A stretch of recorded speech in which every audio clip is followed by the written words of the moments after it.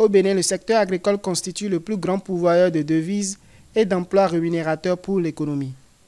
Pour la période 2021-2026, le gouvernement met en œuvre un programme national de développement des plantations et des grandes cultures.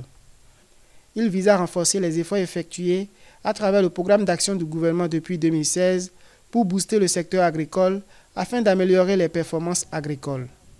Face aux aléas du changement climatique, les producteurs sont de plus en plus confrontés à des difficultés d'accès aux terres fertiles et limitées d'accès aux ressources financières et intrants agricoles. Malgré les efforts du gouvernement pour mettre les intrants agricoles à leur disposition à prix subventionné, la hausse du prix des engrais et autres intrants agricoles handicape la productivité agricole. Les conflits et les guerres qui s'observent ici et là induisent la rareté des intrants et par conséquent leur cherté. Dans ces conditions, même si nous avons engagé de réels efforts pour mettre les intrants agricoles à la disposition de nos producteurs à prix subventionnés, un ralentissement du boom de la production agricole s'est malheureusement observé. Pour consolider davantage la dynamique en cours dans le secteur agricole, le budget gestion 2024 du ministère de l'Agriculture, de l'Élevage et de la Pêche est en hausse de 15,66%.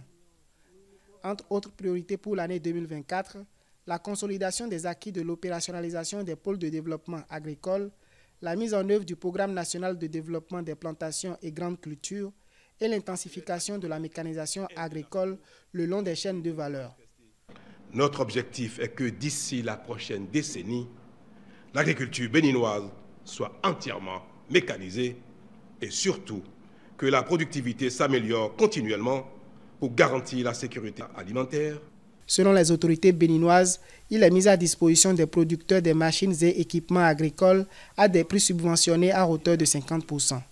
Il est escompté la mécanisation agricole, gage d'embellie économique du secteur.